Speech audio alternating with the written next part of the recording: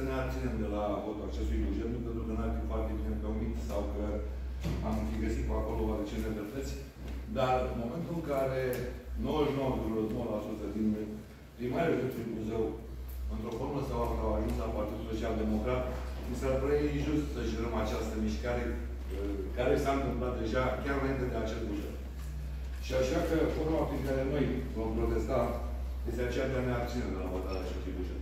Acum, să mă uităm de o proiectă pentru noi sunt colegi care și ei, asemenea primarilor, care au publicat către Partidul Social Democrat, Dan, acest partid la momentul ăsta, un partid bogat, un partid cu multe locuri futboliste, poate că și ei vor uh, accede și vor vota pentru acest buget. Dar noi cei care pretindem că încă suntem în opoziție și care ne reprezentăm uh, votanții, cei care nu au venit aici pe drag, vă spun că vom, uh, ne vom abține în loc, colegii mei și cei care, cei care mă vor urma în acest demers. Domnule președinte, ca totdeauna vă mulțumesc. Cu drag. Și vă asigur, încă o dată de tot respectul. La și pe și care conduce, și colegii noștri. Bine.